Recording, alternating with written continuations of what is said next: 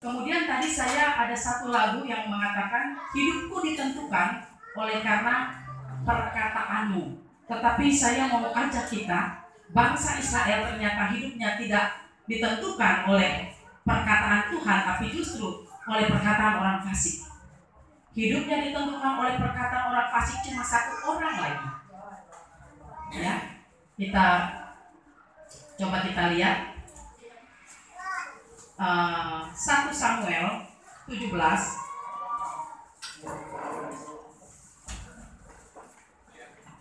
ayat 43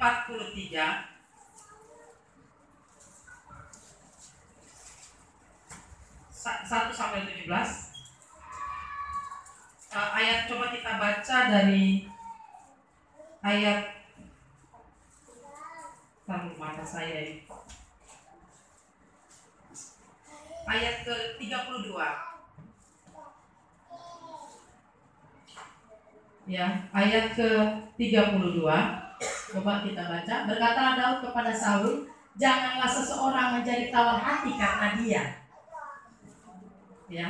Janganlah seseorang tawar hati karena dia. Hamba ini akan pergi melawan orang Filistin ini. Ya, itu perkataan Goliat kalau kita baca seterusnya di Alkitab. Itu Goliat memberikan identitas buat orang Israel bahwa kamu adalah hamba Saul. Saya tentara dan kamu adalah hamba Saul. Begitu kata-kata itu sampai ke telinga Saul, ya Saul menjadi gentar. Berarti Saul berpikir di bawahnya dia bukan tentara, bukan prajurit-prajurit yang hebat, tetapi cuma babu, cuma hamba. Itu yang membuat dia takut. Dan seluruh orang Israel terkontaminasi dengan identitas baru. Padahal Tuhan kasih identitas engkau keturunan Abraham dan daripadamu akan timbul banyak berkat. Siapa yang memberkati engkau akan diberkati dan siapa yang mengutuk engkau akan dikutuk.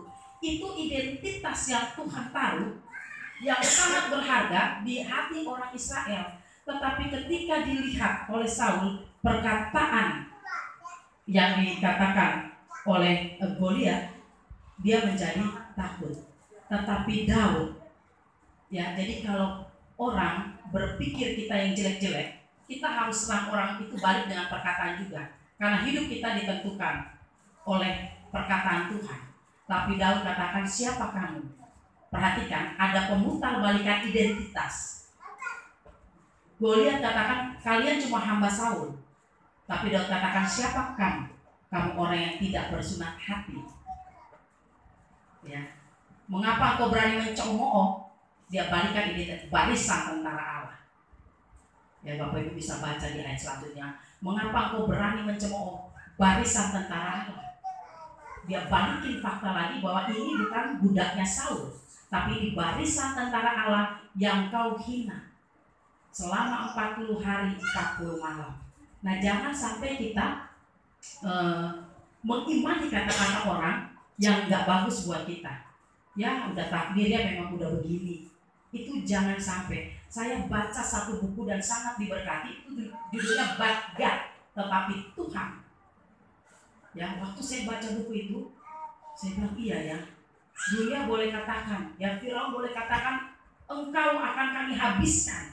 Ya waktu Musa mau keluar engkau akan kami habiskan. Dikasih macam-macam uh, Firaun mempersulit orang Israel Baghdad, tetapi Tuhan membawa mereka ke Goshen.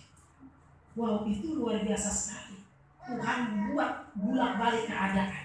Ya Bapak Ibu tadi pagi saya berdoa dan saya cukup bentar karena dari dulu saya selalu kalau pelayanan yang lumayan ekstrim itu didampingi sama, sama Cali ya. Tetapi karena hari Rabu kemarin mamanya sakit dan sudah diinfus, jadi saya suruh kamu pulang aja. Nanti eh, saya yang tackle hari pertama ya. Uh, saya ketakutan dari pagi dan saya berdoa. Tuhan kok saya takut ya dulu tanpa cari saya bisa masuk ke Bu Asima. Sekarang saya agak gentar saya berpikir ini bagaimana kalau yang lain nggak dapat dan sebagainya kan. Karena berapapun yang kami bagi itu 10 menitan ya Pak Anton ya. Ludes habis gitu. Dan orang akan terus berdatangan. Uh, kemudian uh, Tuhan itu menuntun saya dan berbicara banyak tadi pagi cuma dia katakan jadi uh, di hati saya uh, karena saya katakan Tuhan ini bukan keinginan saya. Ini keinginan Tuhan. Ini bukan benar-benar bukan keinginan saya dan bukan ide saya. Ya karena saya orang yang nggak mau repot. Tapi Tuhan kasih tugas. Dia terus dia katakan doakan makanan yang kamu akan bagikan supaya bukan sekedar mengenyangkan tapi mengobati. Saya langsung nangis Bapak Ibu. Biarlah orang yang makan satu kotak yang kamu berikan itu ketika aku kuduskan itu menjadi obat yang sakit disembuhkan. Saya kaget sekali. Itu saya langsung sujud saya nangis saya katakan Tuhan siapakah saya sehingga engkau mempercayakan hal ini kepada kami? Ya karena memang kita harus aminkan lagu tadi bagi Tuhan tidak ada yang mustahil Tuhan baru ngomong di bulan Mei tetapi besok semua sudah ada semua sudah tersedia semua siap diolah. Saya bersyukur Bapak Ibu. Banyak orang-orang yang diberkati. Bantuan juga sampai hari ini terus berdatangan. Ada yang membantu tenaga. Jangan berpikir uh, Bapak Ibu tidak memberi. Tidak ada di sini yang satu orang pun yang tidak memberi. Karena saya setting kolektor dari Mei sampai saat ini buat itu. Jadi kalau 5000 orang ini dilawat, tidak ada satupun dari jemaat yang tidak diberkati. Amen. Karena saya setting setiap kolektor saya tabung. Saya tabung untuk supaya Bapak Ibu minimal kita akan target bukan 5000 tapi 5000 lebih yang yang akan kenyang. Dan dunia boleh katakan kita nggak sanggup oh, identitas itu sempat saya sandang waktu bulan Mei itu kamu duit dari mana mati akal saya. Tetapi Tuhan punya banyak cara. Saya diberkati oleh kesaksian satu orang hamba Tuhan ya namanya Bapak Petrus Agung ya. jadi waktu dia sedang menginjili di Amerika bendaharanya telepon dia. Ya bendahara katakan Pak Agung eh, dana kami tinggal sedikit waktu itu gerejanya belum besar karena dia salah satu yang uh, Mbak ini salah, salah satu mengundang kita yang ke Semarang dan gratis makan minum gratis itu nah itu dia dia bilang uh, gereja gereja kita sedang uh, keuangan sedang menipis kita harus beli ini dan itu. Banyak sekali yang harus kita beli. Uh, sangat mengganggu pelayanannya beliau di Amerika.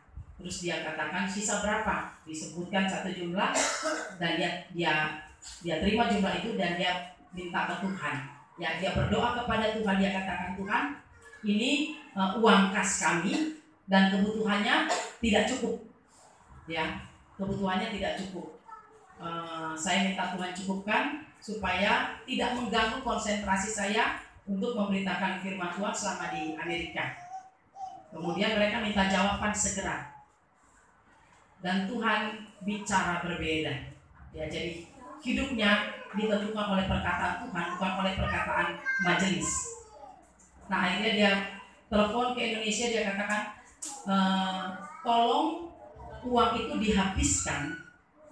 Kamu cari semua eh, gereja-gereja di Semarang yang butuh bantuan untuk pembangunan. Habiskan semua uangnya. Mereka kaget. Pak, nanti bagaimana? Saya nggak mau tahu. Pokoknya dihabiskan. Akhirnya mereka bisa membangun 15 gereja dengan uang kas itu. Ya. Dan dia katakan sampai buku ini saya tulis, orang tidak berhenti membangun Holy Stadium yang di Semarang. Ya. Jadi hidup kita harus ditentukan oleh apa katanya Tuhan, bukan oleh apa katanya dunia. Orang menilai Sakius pemungut cukai, mereka enak, mereka benci. Tetapi Tuhan katakan, pada hari ini aku mau menumpang di rumahmu. Aku mau berpesta dengan engkau. Aku ingin merayakan kemenanganmu. Ya ketika bangsa Israel keluar, dikejar musuh, tidak ada jalan keluar. Ya, satu-satunya cara mereka harus nyebrang laut. Itu nggak bisa. Tetapi Bagdad, tetapi Tuhan membelah laut itu. Ya, Bapak Ibu, saya sangat-sangat diberkati tadi pagi saya berdoa dan saya mengimani bahwa besok itu akan aman karena kita selalu pembagiannya spontan dan kita nggak pernah pelajari situasi di lapangan seperti apa tetapi kita harus berbagi kasih ya tetap kasih itu uh, saya gentar karena ada ayat-ayat Jadi setiap nasi box itu kita kasih ayat. Ya, ayatnya itu ada Yohanes 3 ayat 16. Karena memang ternyata setelah saya uh, flashback ke belakang, ketika tanggal 1 Januari saya mempersembahkan 5.000 orang untuk Tuhan, ternyata proyeknya di sini. Ya, jadi lewat ayat-ayat ini kita doakan Bapak Ibu ayat-ayat yang sudah ditulis oleh uh, Pak Bobi akan kita tempel di setiap box makanan dan ayat-ayat itu akan berbicara. Ya, begitu orang mendengar uh, membaca ayat-ayat itu mereka akan diberkati. Dan kita akan berdoa. Kita, saya minta Tuhan buka peluang supaya kami bisa enggak terlalu kredit sehingga kami bisa berdoa bersama dengan mereka. Dan Tuhan turunkan mujizat seperti yang Tuhan turunkan kepada Elia. Ya pada saat Elia berkompetisi untuk menunjukkan siapa Tuhan. Elia juga orang yang cukup fenomenal pada zamannya untuk mengetahui bahwa ada perbedaan loh antara orang benar dan orang fasik. Ya. Sebenarnya dia tanpa konfirmasi sama Tuhan, dia lakukan itu. Dia bilang naik kita sama-sama ke Gunung Karmel. Bapak Ibu, itu ada 450 nabi Baal. 450 nabi Baal yang makannya dibiayai oleh raja. Ibaratnya kalau kita ngorek itu ngorek presiden. Ya. Raja Ahab. Itu nggak boleh dikorek. Tapi Elia menantang. Yuk kita buat kompetisi supaya bangsa ini tahu siapa Allah. Jadi Tuhan itu mengajari saya tadi pagi untuk 5000 orang ini jangan pernah kamu sombong. Ya, kalau kamu bisa itu bukan karena kamu. Supaya orang tahu siapa Allah. Supaya orang tahu bahwa bahwa Gosek itu punya Allah. Itu yang saya yang saya uh, disuruh Tuhan untuk uh, sikap hati kita dimurnikan sebelum pembagian. Dan yang kedua, hatinya itu jiwa. Jadi kamu harus menangkan jiwa ya lewat 5000 orang ini harus ada jiwa yang dimenangkan buat Tuhan. Jadi Bapak Ibu tidak ada satupun dari kita yang tidak ambil bagian. Ya, karena semua kolektor saya masukkan untuk budget kita. Entah itu nanti kita pakai untuk masak lagi. Kalau masih ada kelebihan kita akan masak lagi dari 5.000 jadi 6.000 jadi 7.000 uh, saya nggak tahu tapi semua uang kolektor itu uh, saya kasih di situ.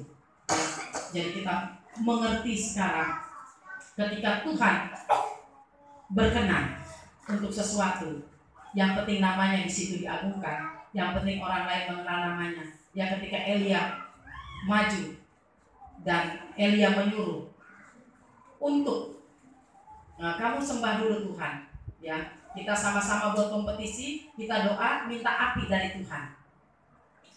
Kalau kamu 450 nabi ini, kamu berdoa dan api turun, saya tinggalkan Tuhan saya. Wow, itu luar biasa sekali.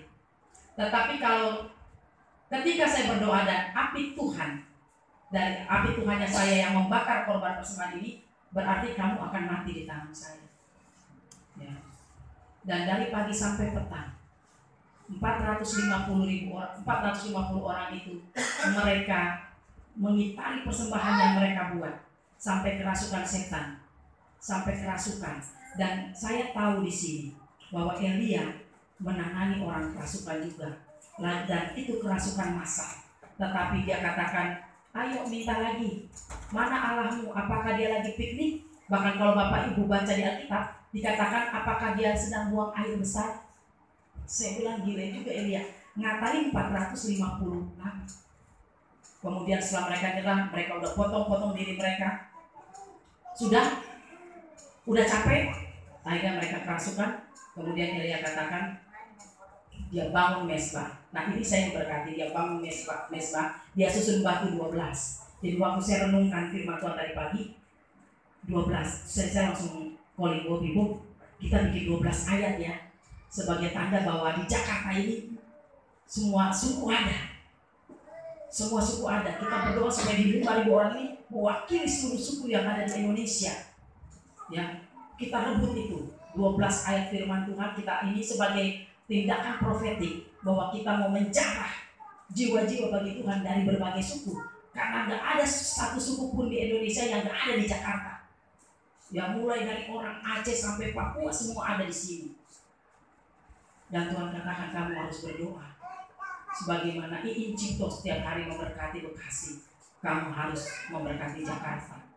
Dan saya dari tadi pagi saya menangis di kaki Tuhan. Saya katakan siapa saya. Sehingga itu anugerah yang besar. Saya katakan Tuhan ternyata engkau benar yang ngomong sama saya di bulan Mei, Mei itu. Ternyata engkau ngomong ya. Karena kalau bukan Tuhan tidak ada penggenapan. Kalau bukan Tuhan yang ngomong benar-benar ke saya, itu nggak ada penggenapan. Karena dari mana uang, dari mana dana. Tetapi orang dengan senang hati telepon saya, membagi saya, yang kita ambil pun bukan dalam bentuk uang Bapak Ibu, tapi nasi bungkus ya. Dan itu di mall-mall yang luar biasa. Dan ketika mereka menyerah, Elia menyusun 12 batu. Dan dia suruh gali lubang parit ya. Bapak ibu dia gali. Ini sekitar mesbah itu dia gali lagi dan dia taruh air di sini dan dalam seketika itu ada dua motivasi yang dilakukan oleh Elia sebagai orang benar supaya dia bisa melihat perbedaan orang benar dan orang fasik. Ada dua motivasi. Yang pertama dia fokus sama Tuhan. Kalau bapak ibu baca kisah Elia di Gunung Karmel itu ada satu kata yang sangat menyolok di situ, sebab engkaulah. Ada kata sebab engkaulah. Dan yang kata kedua dia haus akan jiwa-jiwa. Dan api Tuhan menyambar persembahannya ya tiba-tiba saat itu juga Elia berubah jadi ISIS.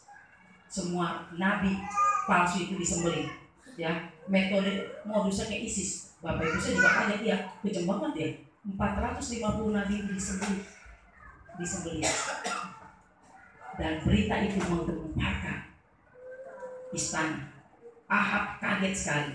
Kenapa seorang Elia punya kekuatan yang besar untuk membunuh 450 orang kemudian dia ngomong sama istrinya dan saat itu saat itu hidup Elia ditentukan oleh perkataan Isabel.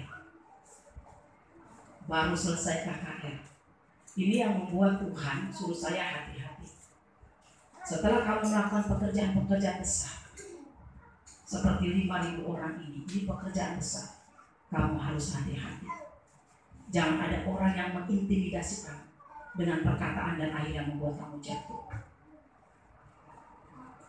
Saya benar-benar diarahkan sekali tadi pagi oleh Roh Kudus karena saya begitu ketakutan. Dan saya baca tentang kisah Elia ini dan ada banyak berkat di situ. Ya. Terkadang kita menjadi militan yang luar biasa untuk Tuhan. Tetapi ketika ancaman kecil dari seorang perempuan, bukan raja, bininya raja, raja aja dia nggak takut, tapi dia mau perempuan. Perempuan itu katakan, oh begitu.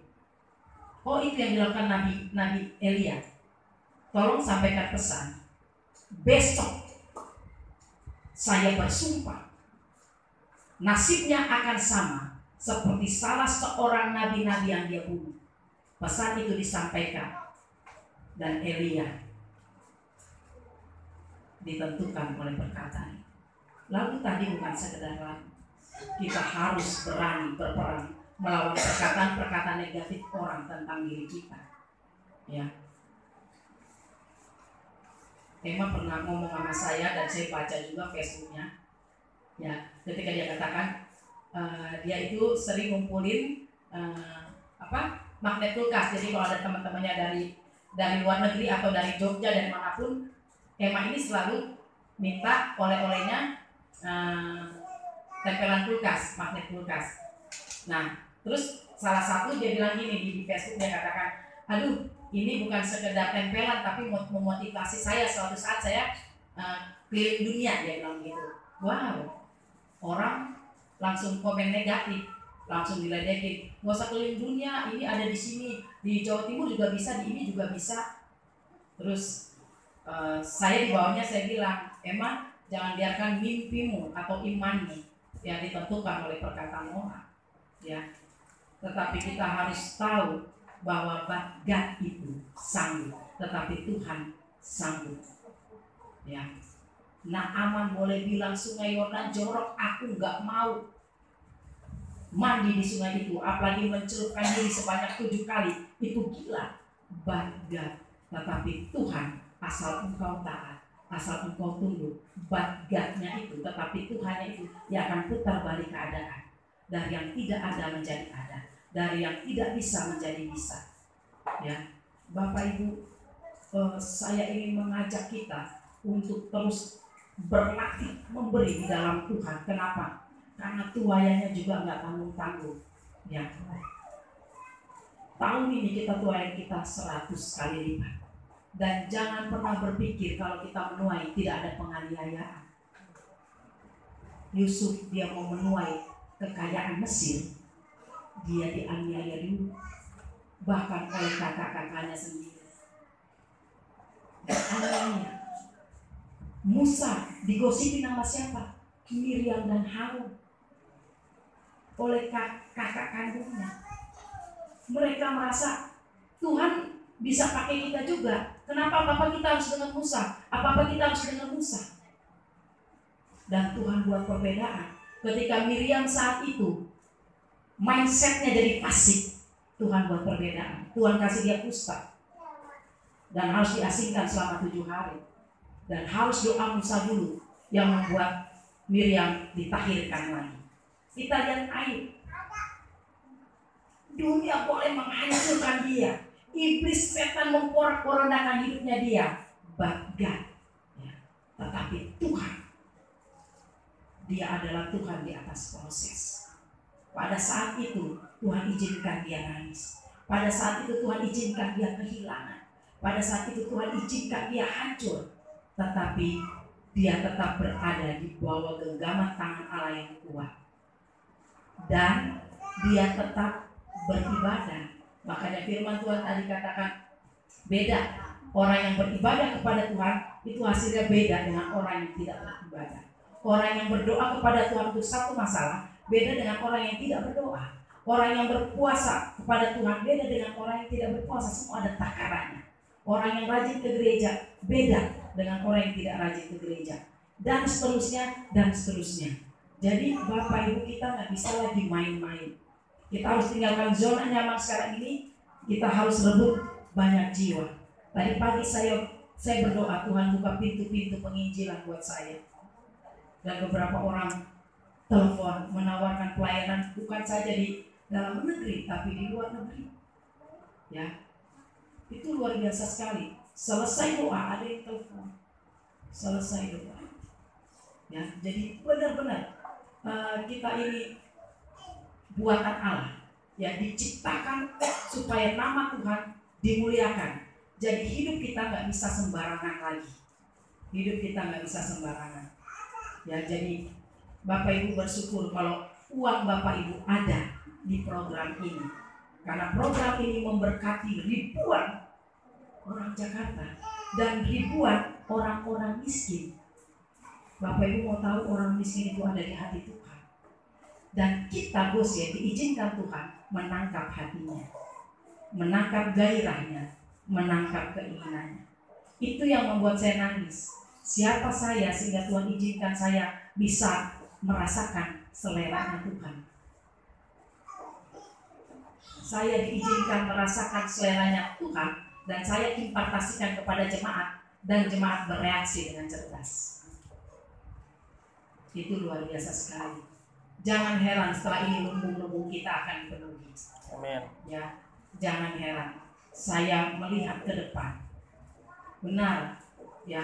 Kalau dilihat kita cuma berapa keluarga, nggak nyampe 20 keluarga. Ya, tapi saya tidak tahu hati karena sampai mati murid Yesus juga 12 orang tapi mereka menentukan nasib dunia. Dan saya percaya Goshen juga menentukan nasib Jakarta. Kehadiran Goshen akan menentukan apakah Jakarta itu diberkati atau ditutup. Amin. Ya. Dan Bapak Ibu ada di dalamnya. Ini tua yang gak main-main. Ini tua yang gak main-main. Dan saya menikmati Tuhan sekali untuk besok ini. Saya bersyukur kita bisa tahu seleranya. Tuhan selalu bicara selera saya cuma satu PP jiwa, jiwa, jiwa. Dan saya bilang kalau engkau seleranya itu saya mau, tapi buka pintu-pintu penginjilan, buka. Dan saya butuh duit untuk beli tiket pesawat. Saya butuh uang. Berkati saya, berikan saya tiket. Karena ada gereja-gereja miskin yang nggak bisa membiayai tiket kita.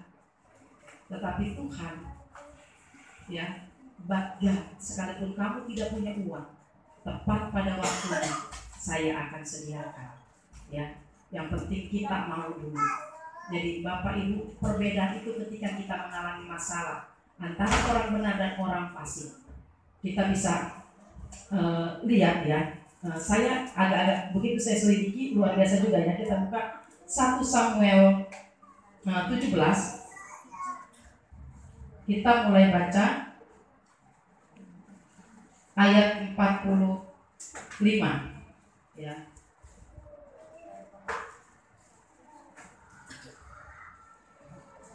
Ya, tetapi Daud berkata kepada orang Filistin itu, Engkau mendatangi aku dengan pedang dan tombak dan lembing, tetapi aku mendatangi engkau dengan nama Tuhan semesta alam, Allah segala barisan Israel yang kau tantang itu.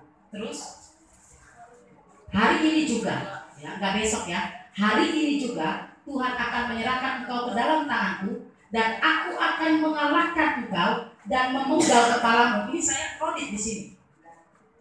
Ya. Aku akan mengalahkan engkau dan memenggal kepalamu dari tubuhmu. Hari ini juga senjatanya dia apa ya? Tongkat sama apa?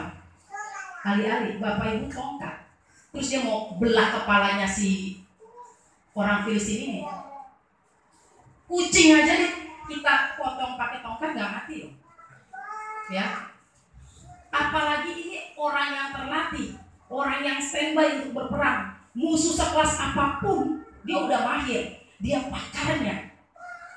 Ya makanya pas saya baca tanganku dan aku akan mengalahkan kau dan memenggal kepalamu dari tubuhmu Hari ini juga aku akan memberikan mayatmu dan mayat tentara orang Filistin kepada burung-burung di udara dan kepada bintang binatang-binatang liar supaya seluruh bumi tahu.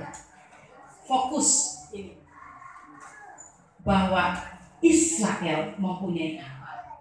Ya, saya mau ganti bahwa Goshen mempunyai Allah. Sekarang saya mau katakan, kenapa dia bisa berani bilang memenggal kepala Padahal senjatanya tongkat sama itu. Ya.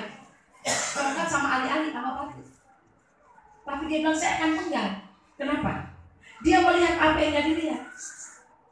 Ya, sampai kau katakan, eh emang saya anjing. Dia katakan saya titip pedang. Dia mau pedang bapak ibu. Daud mau pedang, tapi pedang itu ada di Goliat. Pedang itu ada di sarungnya Goliat. Makanya dia nggak pedang, dia katakan langsung, Aku akan memenggal kepala dengan pedang. Ya, kita coba kita lanjut. Ini fokusnya dia kepada Tuhan dan supaya segenap jemaat ini tahu bahwa Tuhan menyelamatkan bukan dengan pedang dan bukan dengan lembi. Sebab di tangan Tuhanlah, ini yang kedua. Di tangan Tuhan apa? Pertempuran itu. Ya. Dan ia pun menyerahkan kamu ke dalam tangan kami. Ini luar biasa sekali.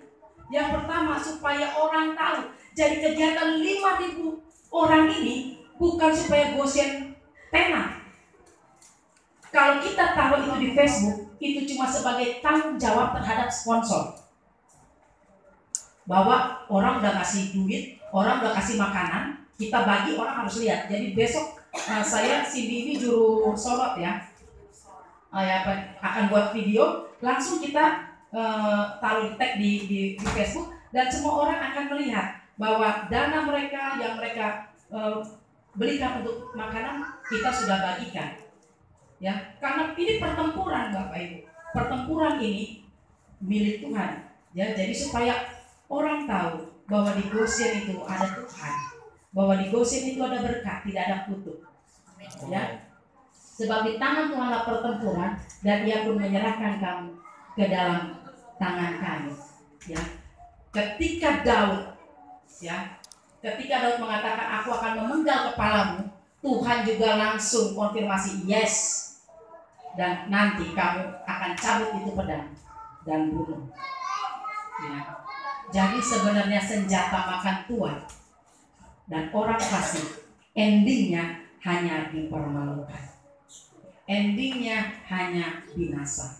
Tetapi orang benar sekalipun digosipin dia akan muncul seperti terang ya saya bersyukur sekali ya saya bersyukur bahwa kita adalah orang-orang yang dipimpin Tuhan secara ajar sehingga bisa ada di sini dan mengambil bagian untuk satu pekerjaan Tuhan yang besar dan saya mau katakan buat Tuhan saya pun tidak akan terhentikan pergerakan saya tidak akan terhentikan jadwalkan saya Tuhan dan saya akan ikut jadwalmu saya mau belajar mengerti ritmenya Tuhan.